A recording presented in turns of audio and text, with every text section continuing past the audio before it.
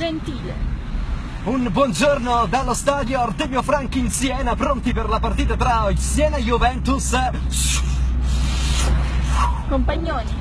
Buonasera anche da Maurizio Compagnoni, sono sempre collegato con la diretta ma sempre su Siena Juventus, incredibile, la partita più attesa dell'anno qua a Siena.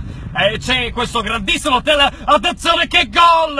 Un gol incredibile! Alessandro Del Piero esplode lo stadio Artemio Franchi in Siena.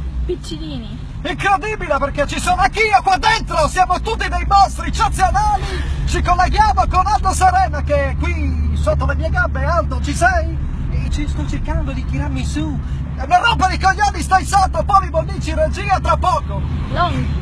Attenzione perché c'è la sciabolata per uh, Del Piero, vedete che la palla è là, vedete sembra che era da indere, vedete che delle volte cambio anche voce perché mi piace parlare in marocchino, poi andare all'italiano e tornare con una sciabolata disperata in area di rigore perché vedete che la difesa del Juventus ha letto bene e poi c'è questo. E allora c'è questo pallone buono per eh, la Juventus che va in attacco con Camoranesi, dentro il pallone per Del Piero, Del Piero con un uno contro uno, Del Piero, Del Piero, mamma mia che tiro, pazzesco il tiro di Del Piero Beppe! Sicuramente Fabio, guardate come si è coordinato bene, come ha coordinato bene la gamba, l'ha lasciata andare benissimo. E poi qui guardate questo svizzero del cazzo che non riesce a gestire la strada.